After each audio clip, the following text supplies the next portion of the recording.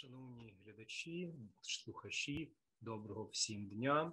Сьогодні ми з вами будемо вести мову про підготовку старшинських та підстаршинських кадрів у спеціальних вишкільних курсах у спеціальних школах Української повстанської армії. Це буде перша із двох лекцій, присвячених підстаршинським і старшинським школам УПА. І нині ми розберемося з питаннями комплектації, постачання соціального і вікового складу курсантів, забезпечення їх харчуванням, забезпечення їх одягом, обмундируванням, взуттям і так далі. А наступна наша лекція буде присвячена вже розбору навчальних планів у старшинських та підстаршинських школах УПА. Отож, поїхали. Цілком очевидно, що розгортання повноцінної підпільної армії було можливим лише за умови забезпечення достатньої кількості кваліфікованих військових кадрів. І в цьому плані українська повстанська армія мала доволі поважні проблеми. На відміну від партизанських армій поляків, французів, греків, сербів чи навіть, скажімо, від радянського партизанського руху, які черпали свої командні кадри з колишніх регулярних армій, або в радянському випадку шляхом підготовки керівників партизанських загонів в тилу, в УПА були досить обмежені можливості в плані отримання достатньої кількості військових спеціалістів. Старшини колишніх українських армій з часів визвольних змагань 17-21 років були здебільшого уже непридатні за віком для важких умов боротьби лісової армії і могли використовуватися лише як штабні старшини. Та й два десятиліття без армійського життя цих колишніх офіцерів дуже часто призводило до їхньої профнепридатності, особливо в умовах партизанської війни, яку колишні вихованці навчальних закладів регулярних армій знали слабенько. Українців, котрі отримали якісну офіцерську підготовку в польській або німецькій армії чи поліції, було також не надто багато. Значно частіше до УПА потрапляли колишні командири Червоної армії, які опинилися на окупованій німцями території, тікали з таборів для військовополонених, виходили з оточення тощо. Однак вони також здебільшого мали вузьку військову спеціалізацію, могли, наприклад, командувати важкою артилерією, якої в УПА просто не було, або бути танкістами, льотчиками, що для повстанської армії також не надто підходило. Найбільшою ж проблемою було те, що всі військові фахівці, які потрапляли в УПА, сформованими спеціалістами були вихідцями із регулярних армій, життя та боротьба, в яких принципово відрізняється від боротьби армії партизанської. У повстанському звітті з території УПА Південь за липень 44-го року підкреслювалося. Цитую: більшість командирів сотенних це люди, які мали дуже мало спільного з нашим рухом. Це переважно під старшини польської, совітської чи німецької армії, інтелектуально і політично слабо вироблені. Вони, будучи вихованими в регулярній армії, не можуть зрозуміти особливих обставин, в яких формується і росте УПА. Тому всю роботу у відділах укладають на касарняний лад. Якщо військовий вишкіл і проводиться за певною схемою, то більше звертається увага на справи другорядні муштра за рахунок стрілецького вишколу. Замітно, що більшості командирів бракує також ініціативи, і вони часто губляться, головно коли йде про бій. В регулярній армії вони призвичайні діставати докладні директиви, а тут приходяться діяти самостійно. Кожен з них може бути добрим вояком, але важко серед них знайти справді командира партизана. Кінець цитати. З метою налагодити систему виховання власних командних кадрів в УПА було створено п'ять польових старшинських офіцерських шкіл, які випустили близько 700 офіцерів, що посіли провідні позиції повстанській армії. Перша старшинська школа УПА дружинники, керівником якої був Лев Крисько під псевдонімом Горень, була організована на Поліссі. Тут викладали колишні офіцери армії УНР та Червоної армії, а також учасники Українського легіону дружин українських націоналістів. Близько 60 її курсантів проходили підготовку від серпня до грудня 1943 року, і після складання випускних іспитів школа припинила діяльність. Під час свого існування школа одночасно виконувала функцію охорони головного штабу УПА. У вересні 43-го року було організовано другу старшинську школу УПА Лісові чорти. Керівником школи був Федір Польовий, відомий під псевдонім Поль, і Василь Брилевський, псевдонім Боровий, яка функціонувала на Волині до січня 44-го року. На навчання до цієї школи згідно з наказом 12 Клима Савура, тобто Кляшківського, від 4 вересня 43-го року спрямовувалось по 30 людей від кожної округи, одягнених і добре озброєних для проведення старшинського вишколу, і по 15 людей від кожної округи, знайомих із піротехнічною справою для підривного і саперного вишколу. Після випуску півтори сотні курсантів інструкторський склад школи в лютому 44-го року було переведено до Карпат в район міста Долина, де 1 березня створили третю офіцерську школу УПА Олені, керівником якої був спочатку Степан Фрасуляк під псевдонім Хмель, а згодом згадуваний Федір Польовий Поль. У школі навчалося 350 курсантів, 230 за старшинською і 120 за підстаршинською програмою. Підстаршинський випуск відбувся в середині червня 44-го року, а старшинський у липні того ж року. Цікаво відзначити, що два чотові школи згодом командували групами УПА Захід.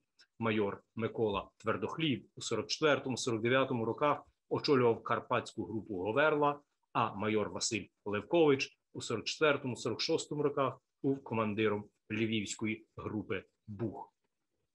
Для покращення відбору кандидатів на навчання у старшинській школі Олені в червні 44-го року в Ростоці було створено школу кадрів, якою командував сотенний шум. Через неї проходили всі претенденти на майбутнє навчання в Оленях.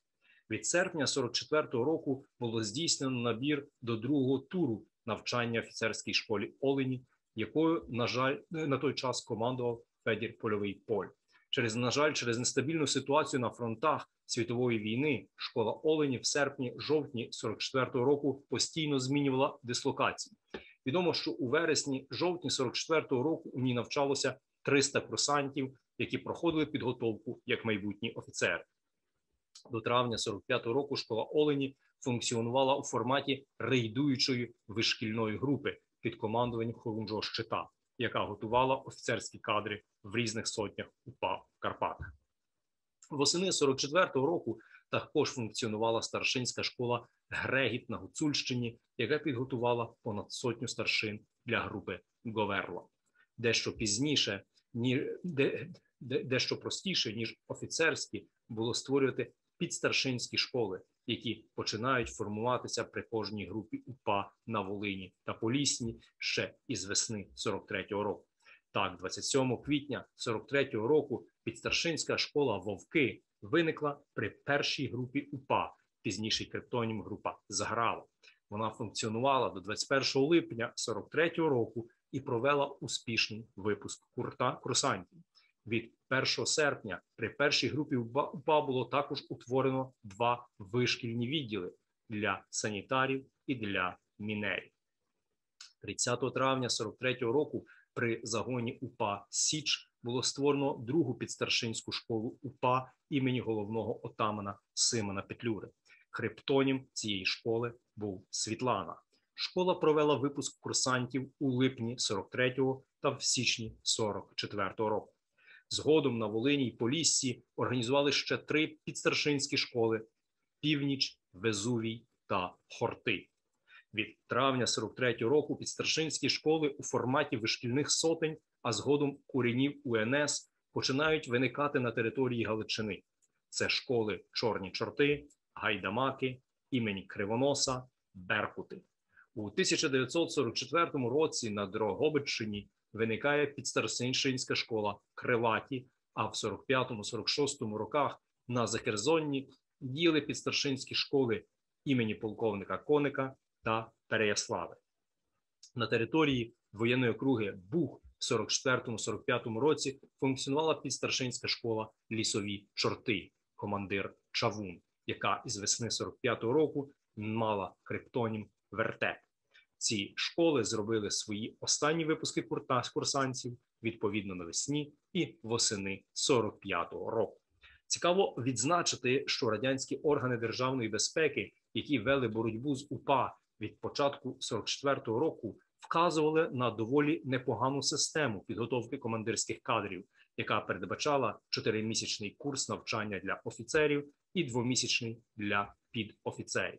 Співробітники сталінських спецслужб навіть не хотіли вірити в те, що повстанських командирів вдалося якісно готувати в умовах підпілля, а тому надали своєму керівництву недостовірну інформацію про те, що окрім підпільних шкіл офіцерів, УПА готують із допомогою англійців у Канаді. Безперечно, інформація про підготовку старшин УПА в Канаді була продуктом хворобливих фантазій радянських спецслужбістів, але система підпільних старшинських і старшинських шкіл УПА заслуговує на більш детальний розвиток. Тобто, ми переходимо до того, щоб проаналізувати і узагальнити наявні документальні матеріали, яким, за якими спробуємо визначити вік, освіту, соціальне походження курсантських, старшинських і підстаршинських шкіл, розкрити, як вони відповідно забезпечувалися, харчувалися, який був розпорядок дня в їхніх школах. Розпочнемо із того, щоб подивитися, яким був розпорядок дня старшинських і підстаршинських школах УПА. Гостра потреба у старшинах і підстаршинах вимагала якнайшвидшої підготовки і якнайякіснішої підготовки курсантів. До того ж, бойові умови, в яких вишколювались командний склад повстанської армії, диктували надзвичайно щільний і навіть фізично виснажливий графік навчання. Щодня протягом 16 годин з 5 до 21 години майбутні старшини та підстаршини УПА виконували фізичні вправи, практичні завдання, займалися господарською роботою. Документи старшинської школи Олені за 44 рік дають змогу реконструювати звичайний день курсанта вишкільного відділу УПА. О 5 годині влітку й о 6 узимку всіх мешканців табору піднімала гучна сурма. Протягом п'яти хвилин вони мусили вишикуватися на муштровому майдані посеред табору. Сурма лунала тричі з інтервалом трохи більше ніж півтори хвилини. Перший відрізок часу призначався для збору. Між другою та третьою сурмою ройовий, ройовий вишколював свій відділ у колону. Після третьої виводив на плац. Гімнастику проводили під старшини, орунжий або бунчужний. Вона складалася з прискореного маршу бігу, заспокійливих вправ, простих та комбінованих вправ для всіх груп князів, спортивних ігор, кінцевого бігу, маршу зі співом. Після зарядки курсанти мали 10-15 хвилин, щоб помитися, поголитися і застелити ліжка. Ранкова і вечірня молитви відбувалися в такий спосіб. Курсанти шикувалися в три ряди. Отримавши команду до молитви, всі знімали шапки і ставали струнко. Потім, після команди спочинь, відставляли в бік ліву ногу і трохи згинали в коліні прав. Один із повстанців, чия черга була в той день, голосно промовляв слова молитви Отче наш і Богородичної молитви, після чого виголошувалася особлива повстанська молитва за Україну. Отримавши наказ по молитві, курсанти одягали шапки і вирушали на сніданок. Перед вживанням їжі черговий підстаршина перевіряв чистоту рук і мисок. Після сніданку службовий підстаршина звітував перед командиром школи або його ад'ютантом про загальний е, стан кількості курсантів, про хворих, про осіб, які відбули до бойових відділів, відправлені в наряди на варту, кухню, технічну роботу, тобто ремонт зброї, одягу, взуття і так далі. Відбувався загальний огляд е, всієї школи, і після чого розпочиналися польові заняття. Завершивши польові заняття, курсанти чистили зброю, одяг, обідали, отримували нові наряди. Після закінчення пообідніх занять о 18-й годині оголошувалися наряди на наступний день і починалася вечеря. Потім між 19.30 та 21 годиною був вільний час, який здебільшого використовувався на господарські роботи. О 21 годині Після вечірньої молитви знову лунали три сурми, так звана нічна зоря. Протягом п'яти хвилин курсанти з пляцу переходили до землянок чи казарм і лягали відпочивати. В школах УПА панувала жорстка дисципліна, якої вимагали суворі умови партизанського буття, оскільки велика кількість новобранців вважали, що в повстанському середовищі має бути лагідна демократична атмосфера. Їх привчали до життя регламентованого армійськими статутами з метою ліквідації проявів недостатньої субординації та самоуправства. Деяка інформація про дисциплінарні заходи керівництва старшинських і підстаршинських шкіл міститься в розпорядженнях підстаршинської школи Світлана загону імені Богуна за червень 43-го року. Так, наказі командира школи Мельника, псевдонім Чорноморець, зазначається: не хочу бачити, що брій приходив на збірку неорганізовано. Коли немає ройового, то його заступник робить те саме, що він. Загальна збірка не сміє тривати більше п'яти хвилин. Не сміє ніхто відійти від роя без відома ройового. Куди б хто не йшов, мусить зголоситися, і про прихід мусить зголоситися. Заборонено звертатись до вищого командування з проханнями про відпустку і з доложеннями без відома ройового. Кожен жовнір мусить знати службову дорогу. Перше зголошується ройовому, а тоді йде далі. Хочу бачити безоглядну карність, коли ройовий дає наказ, чи він доцільний, чи недоцільний, треба його виповнювати, а тоді можна ставати до звіту зі скарженням. Хочу бачити дружність, добре відношення один до одного. Бо коли завважу, що стрільці мають між собою грубе ставлення, буду гостро карати. Каратиму карною муштрою, стійкою під крісом, кари карою для роя і чоти є півгодинна карна муштра за неприсутність двох стрільців на збірці, що не зголосилися ройовому, куди йдуть. Кари виконуються від годин 6 до 6.30 зранку. Кінець цитати. У наступних наказах того ж командира зазначені і інші види дисциплінарних покарань за неголеність, служба в нечергу, так званий позачерговий наряд, за самовільне відлучення двогодинна стійка під крісом на струнко, за невиконання наказу тригодинна стійка під крісом на струнко, за грубе ставлення до ройового чотирьохгодинна стійка під крісом на струнко, за дезертирство розстріл. В окремих наказах по школі Світлана накази номер 10 та 11 від 2 та 3 листопада 43-го року, виданих чорноморцем, наголошувалося на необхідності ввічливо поводитись один з одним і говорити з верхникам тільки правду. Цитую, друзі, жовніри, звертався командир школи до своїх курсантів, коли котрийсь зробив найбільшу провину і не признався до провини. Це не є жовнір, це є трус, а трусливість це найбільша хиба жовнір. Кінець цитати. Очевидно, в середовищі курсантів гостро стояли проблеми нечесного поводження та низького рівня виховання, що взагалі характерно для молодого поповнення більшості армій. Швидше за все, такий стан речей пояснюється недостатнім рівнем освіти в цілому та віковими особливостями. Отже, у вишкільних відділах УПА щоденне життя курсантів проходило в безперервній праці, бойовій та ідеологічній підготовці. Значною перевагою офіцерського вишколу було те, що майбутні командири перевіряли свої знання не лише в умовах, наближених до бойових, але і в справжніх боях та судочках з ворогом. Через відсутність стаціонарних приміщень для арештів у командирських школах УПА утворилася своя специфічна система дисциплінарних покарань. Інтенсивність навчання в суворих умовах життя повстанського табору дозволяла швидко готувати нові групи командирів, що, зважаючи на незначний випускну спроможність шкіл 30-300 осіб на курс, постійно ні втрати були життєво необхідним для функціонування армії. Яким же чином відбувалося облаштування вишкільних таборів, як їх озброювали, як харчували та матеріально забезпечували курсантів? Згідно з вимогами командування, місця для влаштування вишкільних таборів УПА підбиралися з урахуванням особливостей місцевості. Щоб табір був мало вразливим, його закладали посеред великих лісових масивів на болотах, у горах, на берегах невеличких річок, порослих кущами та лозами, якнайдалі від важливих шляхів і великих поселень, але поблизу маленьких хуторів. Крім того, місце розташування табору рекомендувалось оточувати трьома кільцями охорони. Сам табір був комплексом бараків казарм або землянок, побудованих симетрично чи асиметрично, залежно від конкретної місцевості і відповідного наказу командира. Казарми намагались розташовувати на пагорбах і підвищеннях, де не застоювалася вода. Починаючи будівництво бараків і землянок, дерева та кущі здебільшого не вирубували, максимально використовуючи їх для маскування.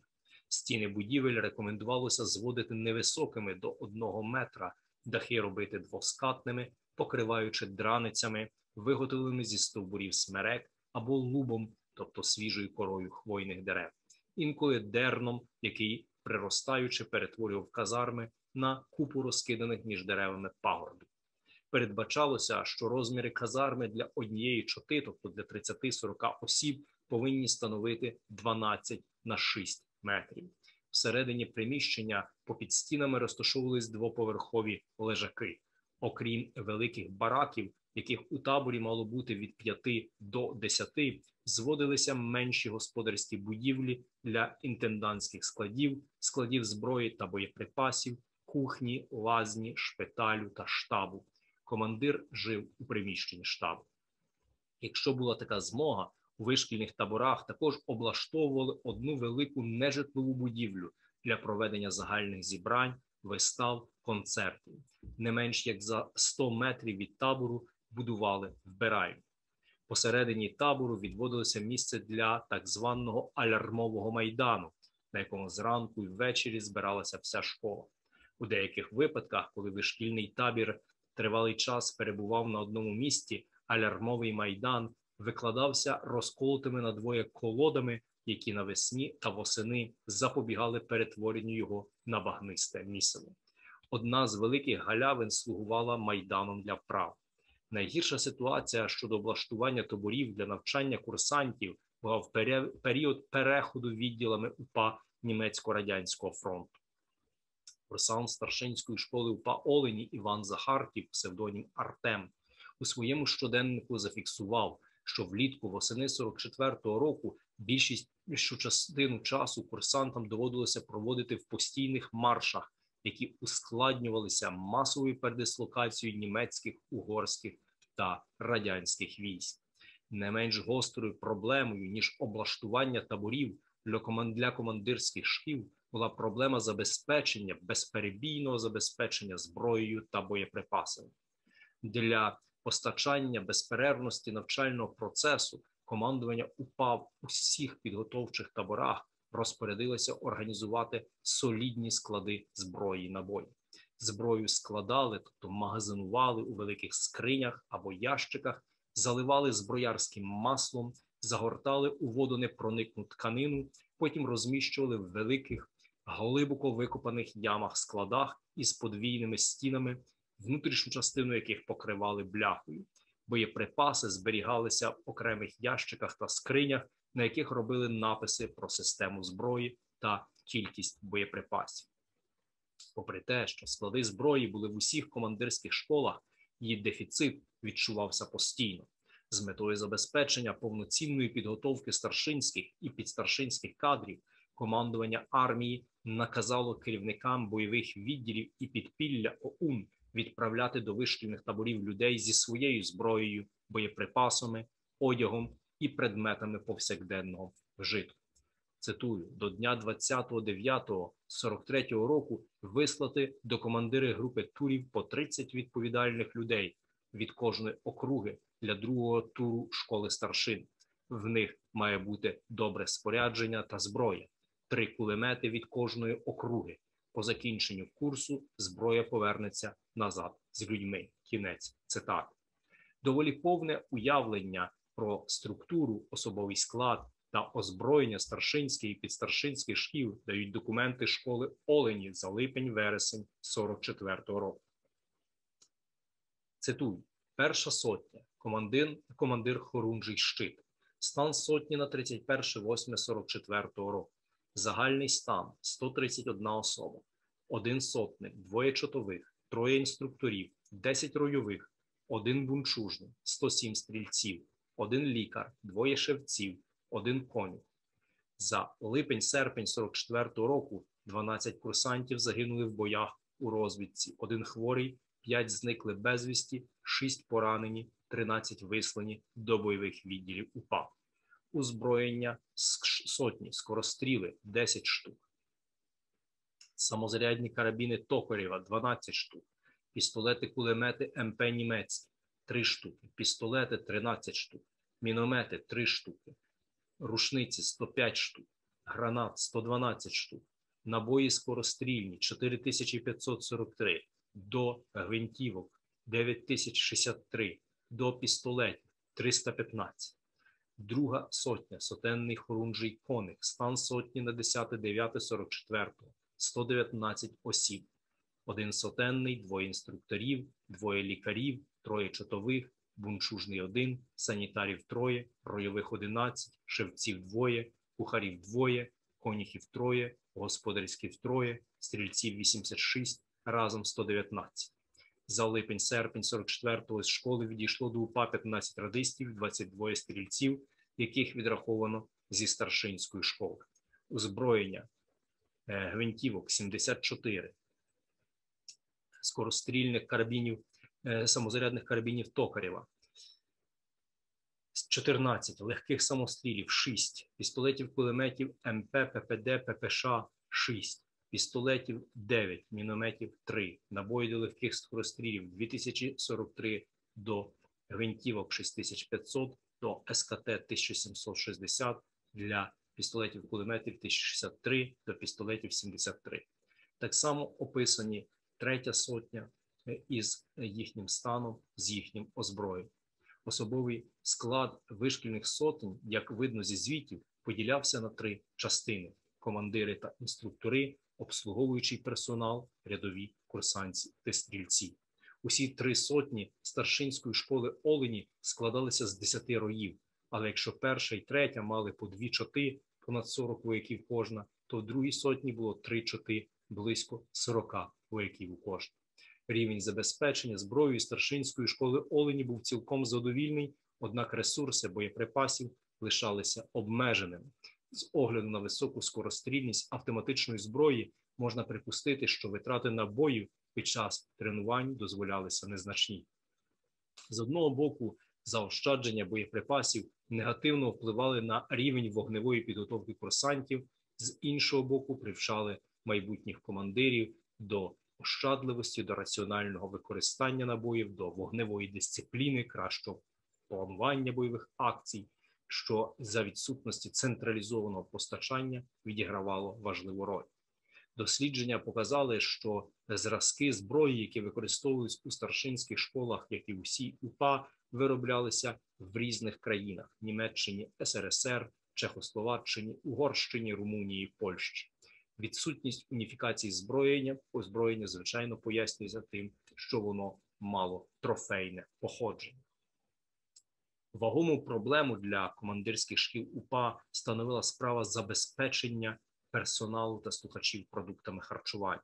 Тоді як бойові відділи УПА здебільшого рейдували на певному означеному терені і харчувалися за рахунок селян, і також із підпільних складів, що були розкидані в районі дії кожної окремої сотні, забезпечувались місцевим господарським референтом, е, керівником запілля, а також здобували провіант і промислову продукцію під час нападів на склади та бази противника. Вишкільні відділи, які розташовувались у стаціонарних таборах, як найдалі від великих сіл та містечок, і не проводили масштабних бойових акцій, перебували виключно на забезпеченні тилових служб УПА та підпілля ОУН. Слід зауважити, що повстанські інтенданти доволі вправно долали продовольчу проблему, тому в більшості звітів командирів вишкільних сотень і шкіл стан харчового забезпечення визначався як задовільний. Е, виконувач обов'язків керівника старшинської школи Олені, поручник Федір Польовий, Поль 30 вересня 44-го року замовляв для потреб своїх 300 курсантів такі продукти на один місяць. Е, товщ, тобто жири, масло, смалець, маргарин 350 кілограмів, крупи 120 кілограмів, горох і квасоля 600 кілограмів, сіль 250 кілограмів, кава 90 кілограмів, консервів 550 штук, цукру, цукру 350 кілограмів, перцю 2 кілограми, паприки 5 кілограмів, папіроси 50 400 штук.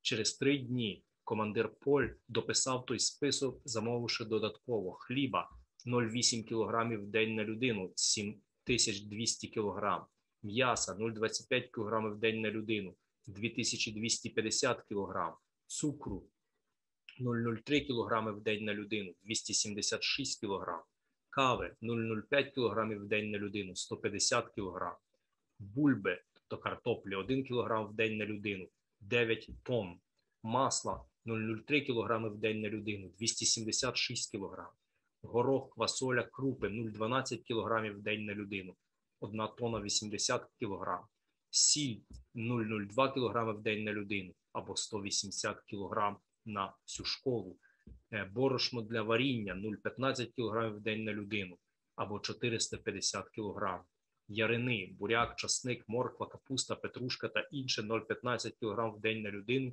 або 1 тонну 350 кілограм, вівса для коней 75 кілограм в день для всіх коней, 2, 2 тонни 250 кілограм.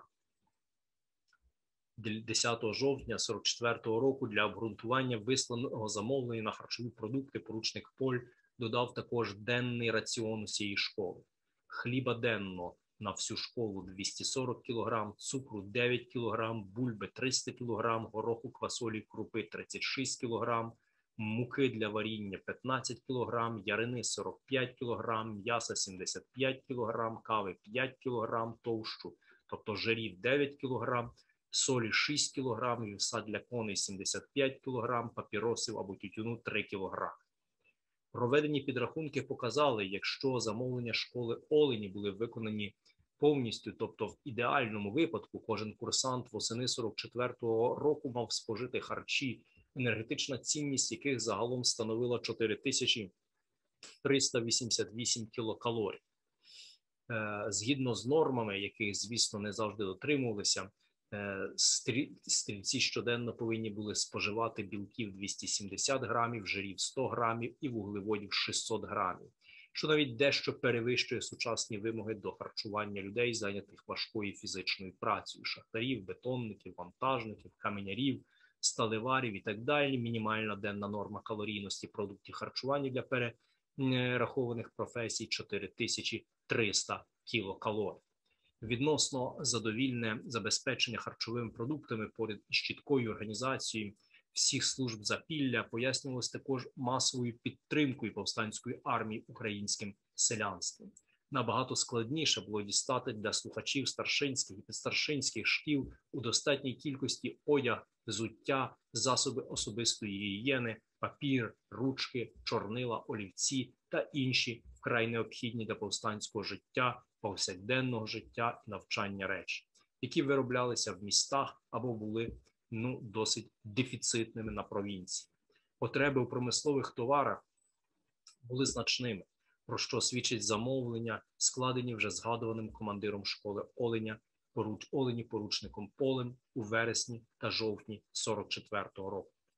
Е, Зокрема, він просив пасти до взуття 30 кілограмів, змазки до взуття 25 кілограмів, масло до зброї 7 кілограмів, змазка до зброї 3 кілограми, умундирування одне, плащів 124, курток 69, штанів 66, сорочок 53, підштанців 87, черевиків або чобіт 66 пар, підошв 135 пар, ковдр 32 штуки, ремнів 27 штук.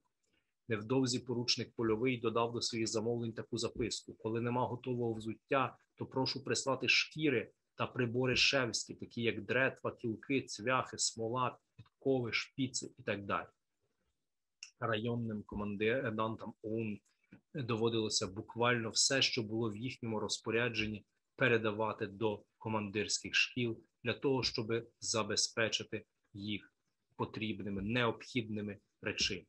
Проблеми із поставками все одно залишались. Особливо ну, важливою була проблема засобів е, постачання засобів гігієни, взуття та ліків.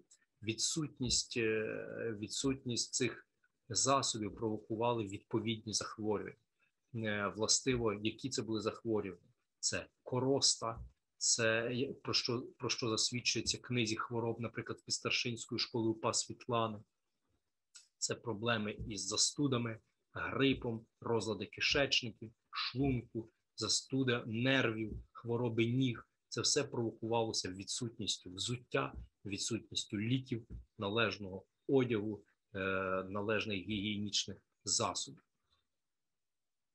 Е, Головна команда УПА доволі непогано справлялася з організацією забезпечення курсантів харчовими продуктами і озброєнням. Натомість недостатньою, завжди недостатньою залишалася кількість боєприпасів, промислових товарів, ліків, засобів гігієни, гігієни, яких катастрофічно не вистачало, і які виготовити кустарним способом було неможливо.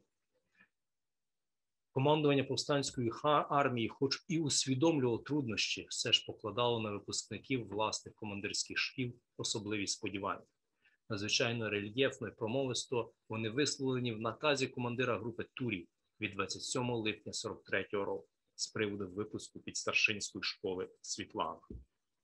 Цитую: вояки Української повстанчої армії в тяжких умовах підпільного школення в період збройної боротьби з ворогом час кожнохвилевої небезпеки ви здобували військові знання і одночасно закріплювали їх в боях. Відбудова української армії росте і не є ще закінчена. Ви будете продовжувати її удосконалювати. Ви будете командирами української збройної сили. На вас спадає її доля і зв'язана з долею УПА доля батьківщини. Будьте гідними її оборонцями і творцями її сили і слави. Так, такі надії, такі сподівання покладали на вихованців старшинських і підстаршинських шкіл УПА. Командування докладало всіх зусиль для забезпечення матеріально-технічного цих шкіл. А про те, як там навчало, чому там навчало, ми з вами поговоримо на наступному нашому занятті, на наступній нашій зустрічі. До найближчих зустрічей. Хай щастить!